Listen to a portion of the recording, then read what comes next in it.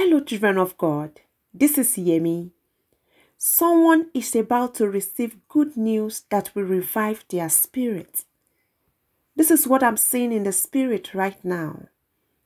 This news will refresh your weary heart, raise your hope, make you believe again, and strengthen your faith in God. You have been waiting for this, and it is finally here. There's someone listening to this message who has been feeling worn out, discouraged, and hopeless. You have been praying and believing for a breakthrough, but it seems like things are only getting worse. But hear me, the Lord is saying that your good news is here.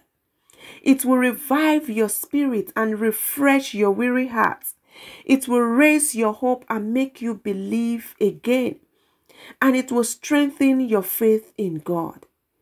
This good news is not just any news, it's a divine announcement from the throne of grace. It's a breakthrough that will propel you into your destiny. The Lord wants you to know that He has not forgotten you. He sees your struggles, your pains, and your tears. He knows the desires of your heart and the dreams that you have been holding on to, and is about to release a breakthrough that will exceed your expectations. So keep trusting in the Lord, for your breakthrough is here. Amen. I love you and I'm praying for you. God bless you.